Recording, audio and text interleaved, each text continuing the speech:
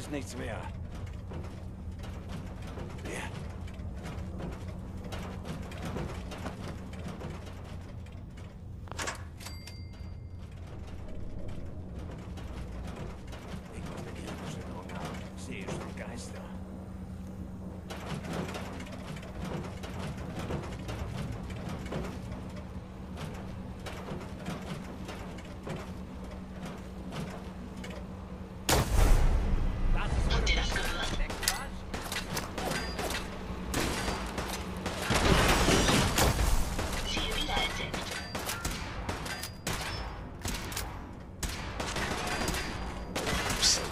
Auf ihn!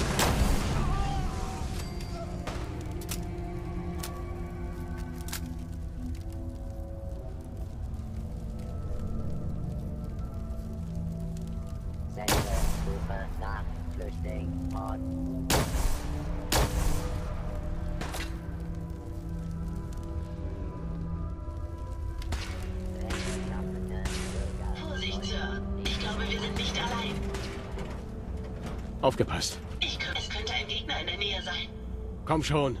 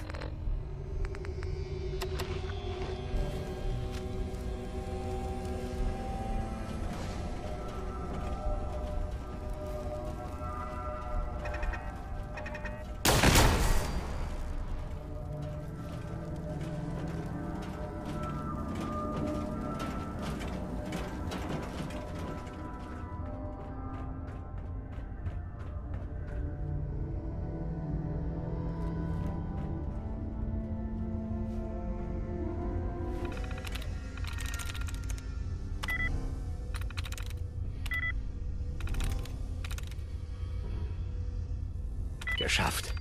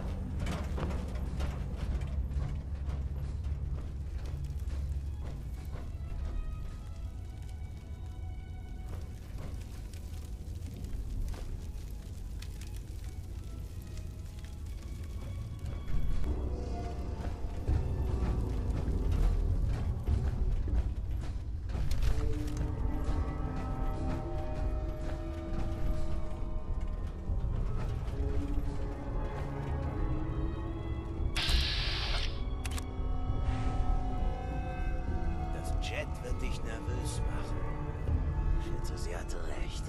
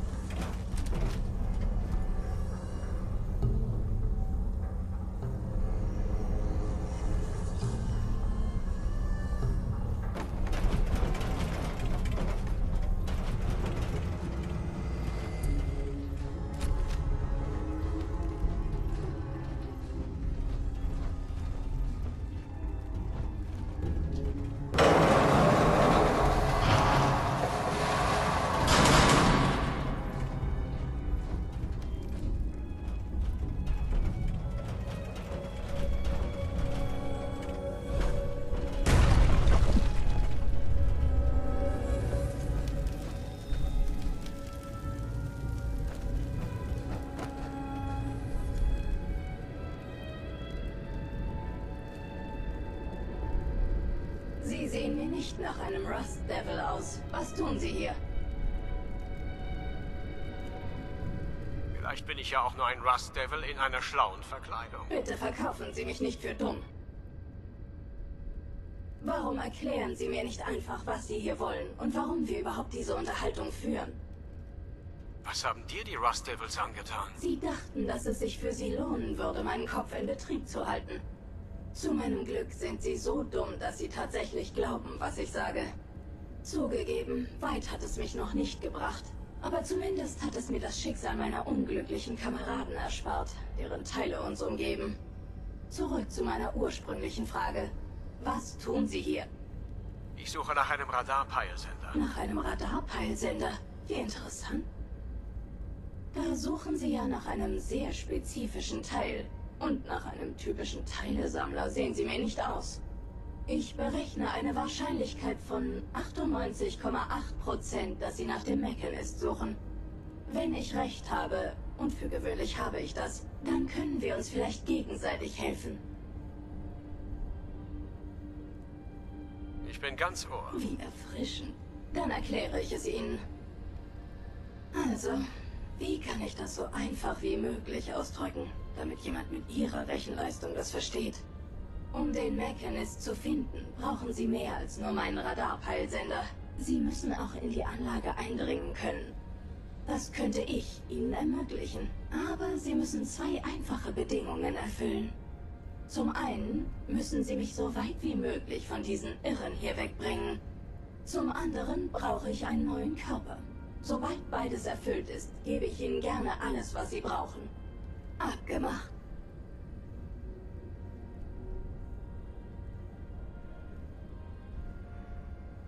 Woher weiß ich, dass du die Abmachung einhältst? Auch wenn in meinem Kopf ein menschliches Gehirn in Biogel schwimmt, bin ich dennoch an meine Programmierung gebunden. So ungern ich es auch zugebe, aber eine meiner Direktiven lautet, niemals zu lügen. Wenn ich auch nicht der bezauberndste Roboter sein mag, dem Sie je begegnet sind, werde ich ganz sicher nie eine Vereinbarung brechen. Jetzt, da wir das geklärt haben, frage ich erneut. Abgemacht. Okay. Eine kluge Entscheidung. Sobald wir an unserem Ziel sind, gebe ich Ihnen zu gerne meinen Radarpeilsender als Geste guten Willens. Und jetzt empfehle ich Ihnen, dass Sie aufhören, mitten im Feindesgebiet herumzutrödeln und uns beide unverzüglich hier rausbringen.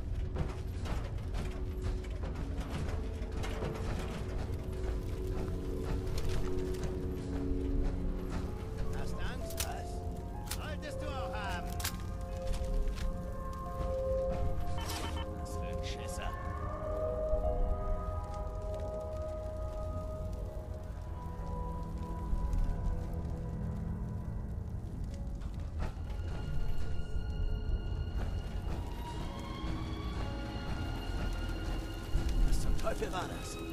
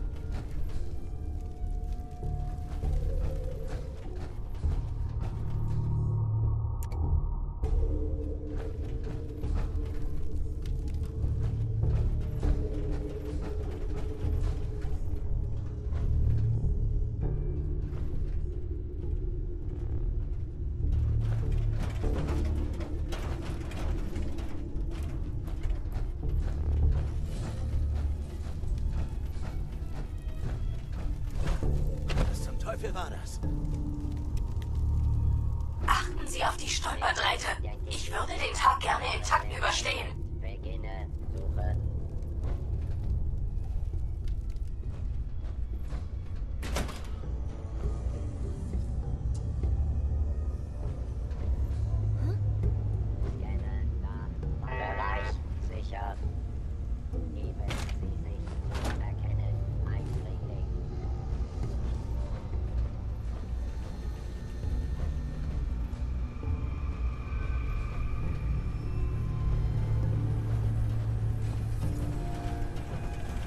Was zum... Ich muss eine Gehirnerschütterung haben. Ich sehe schon Geister. Bitte Sie vor und geben Sie sich zu erkennen.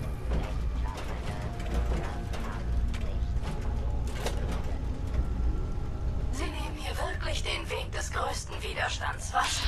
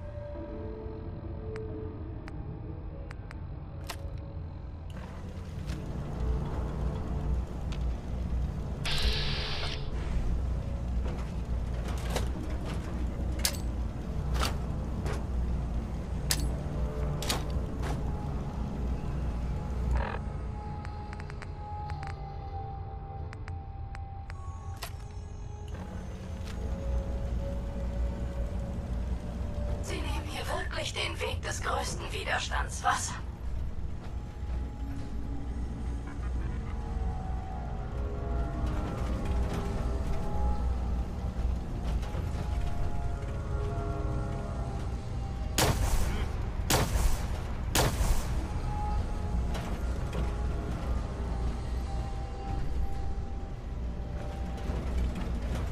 Warnung, gefährlicher Flüchtling unterwegs. Versuchen Sie nicht, ihn festzunehmen. Die Ordnung wird nicht. Sag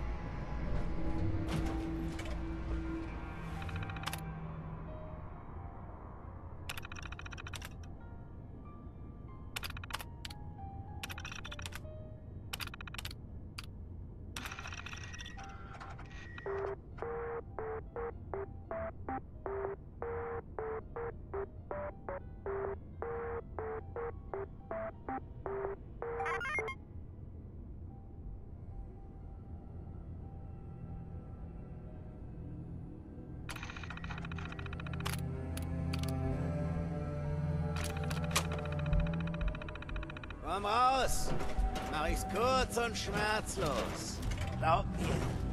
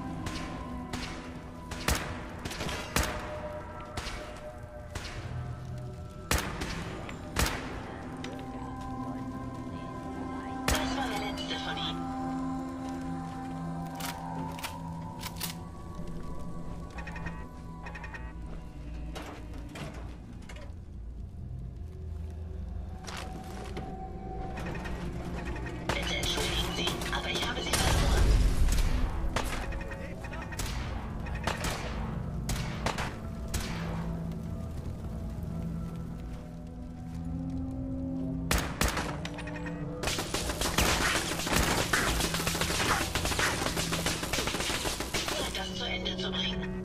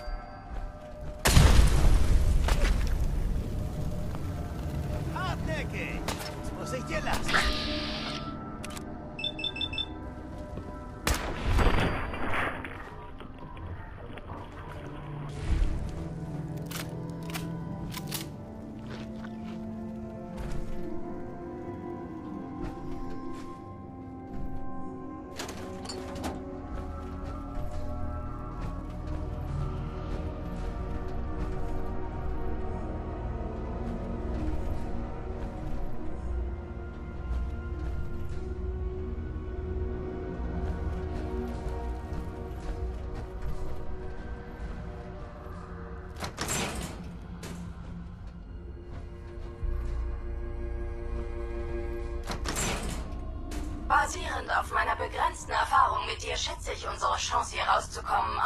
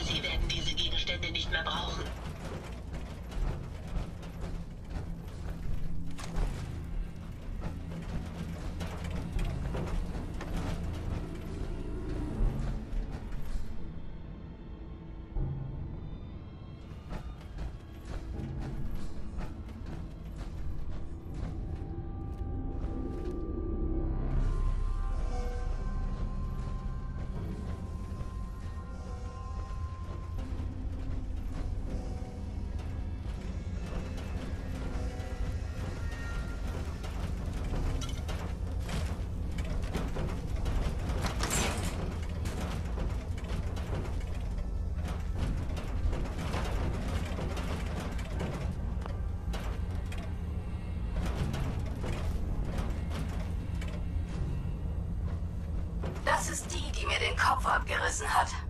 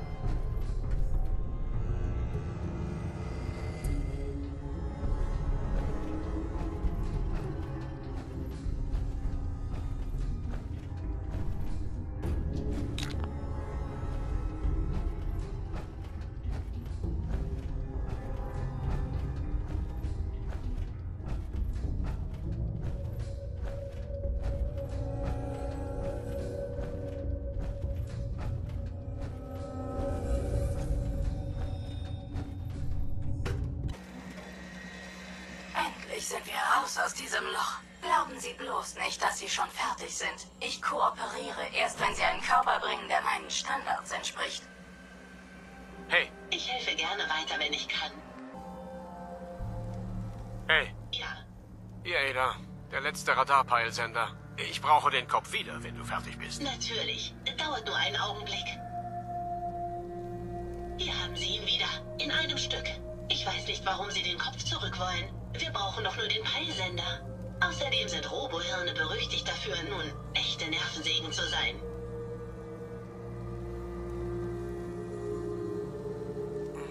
Was weißt du sonst noch über sie, Ada? Ganz einfach. Es war General Atomics Premiere einer erfolgreichen Vereinigung von organischen Stoffen mit Robotik. Das Gehirn ist sowohl Steuergerät als auch Speichereinheit. Dies ist deutlich effizienter als die Verwendung herkömmlicher Schaltkreise.